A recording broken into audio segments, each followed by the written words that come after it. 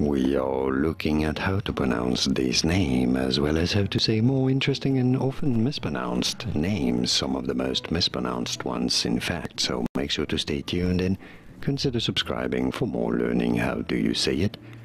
Shreyansh. Shreyansh. Pretty straightforward once you know Shreyansh. Shreyansh. And now you know.